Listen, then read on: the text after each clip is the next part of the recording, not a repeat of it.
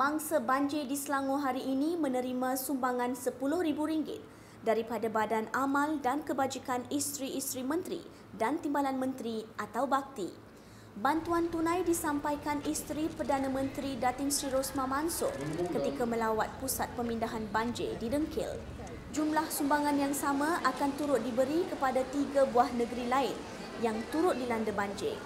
611 mangsa daripada 140 keluarga ditempatkan di Dewan Orang Ramai Dengkil ini manakala 67 buah keluarga ditempatkan di Dewan Gemilang Daerah Sepang. Setakat ini, dua daripada empat pusat pemindahan mangsa banjir di daerah Sepang ditutup.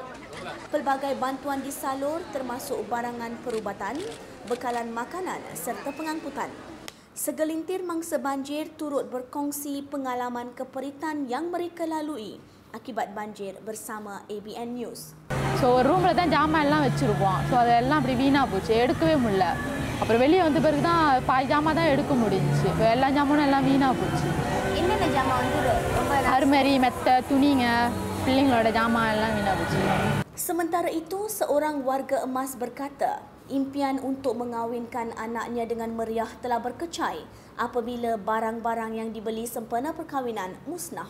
Mak Cili nak kahwin anak tahun ni, bulan tiga. Ha, sekarang barang yang dah beli tu semua rosak habis. Ha, barang beli, ha, tilam, katil, almari makeup, almari baju. Habis tak boleh pakai satu. Semua rosak. Sekarang tak nak beli baru tak tak boleh lah. Mana ha, mahal. Itu pun dah ribu juga. So, tapi, so tak tahulah macam mana nak beli yang, yang ada sekarang. Dalam pada itu, ada juga yang mengatakan bahawa walaupun keadaan buat masa kini tidak seteruk empat hari lalu, anak-anak kecil terpaksa berhadapan dengan masalah kesihatan akibat banjir. keadaan tu kira hari ni kira okey lah sikit sebab rumah pun sudah kering takkan ha, sudah bersih tapi tak boleh masuklah sebab semua barang basah semua tak boleh nak duduk. Kan sofa apa habis tenggelam semua. Barang rumah pun tinggal kira tenggelam lah. Lainlah kalau kalau sakit demam anak ni kira kalau duduk dekat rumah kira okey lah kan.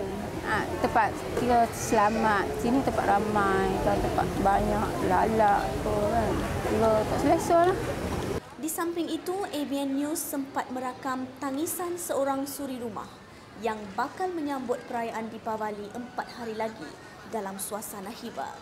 Mangsa banjir yang dikenali Velo ini berkata, beliau masih trauma setelah bencana alam itu menimpa keluarganya. Sambil menitiskan air mata, Vimala meluahkan kesedihannya.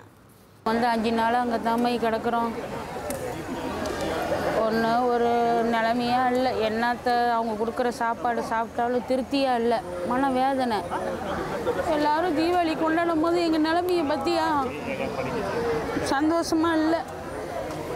ரொம்ப வேதனை. என் பிள்ளைங்களுக்கெல்லாம் துணிமணி ஒன்றும் இல்லை.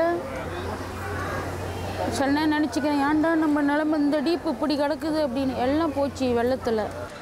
Nasib malang Vimala mendapat perhatian isteri Perdana Menteri yang meminta pihak berkaitan menyediakan bantuan segera. Yogawati Viranan, ABN.